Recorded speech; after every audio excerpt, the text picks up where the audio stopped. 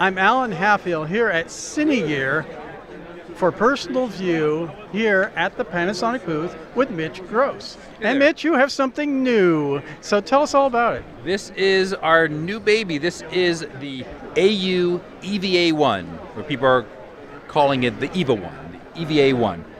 This camera is, it shoots, it has a Super 35 sensor with an EF lens mount. It's very small and lightweight. You can see that it's, the, the form factor is quite petite and it weighs only 2.65 pounds. Very, very small.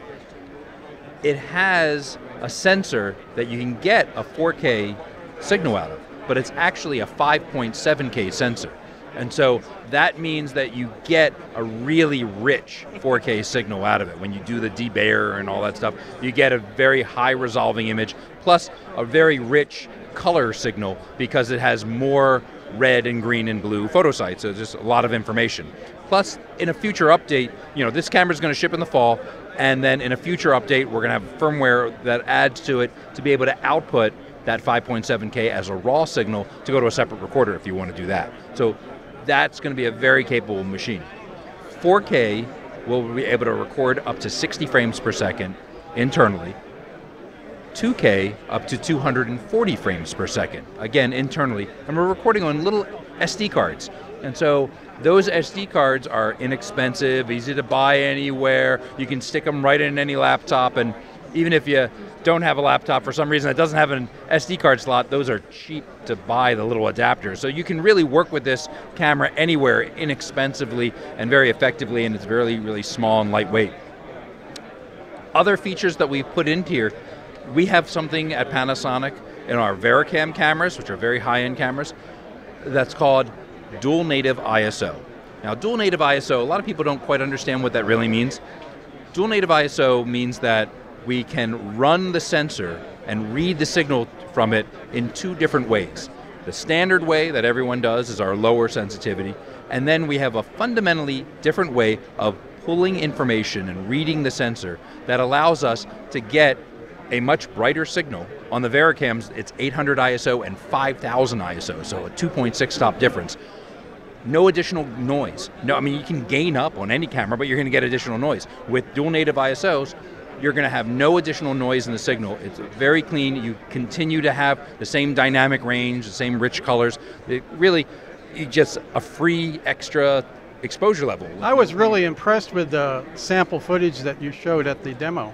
It really is something that was done just so that people can really understand what we're getting out of it, because there's different ways that you can utilize that.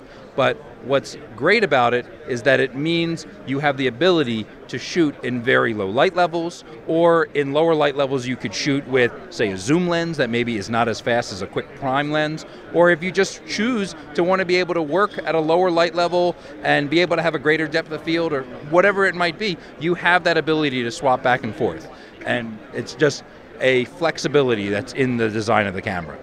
Why the Canon, you know, EF mount? EF mount is for a couple of reasons.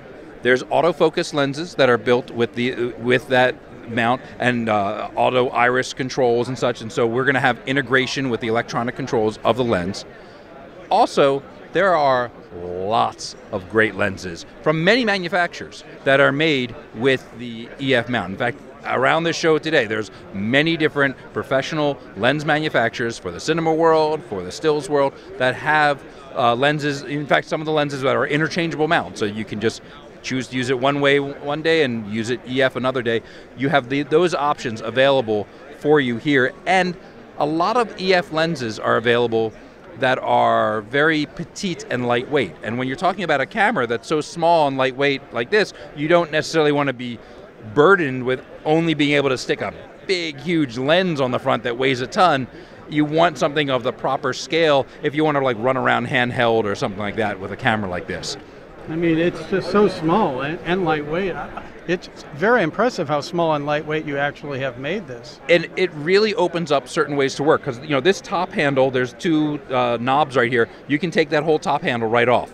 This side grip, you can adjust it and move it around. You can actually just remove it completely if you want. If you do that, you're talking about a really tiny form factor for this camera. I mean, this is a really petite package.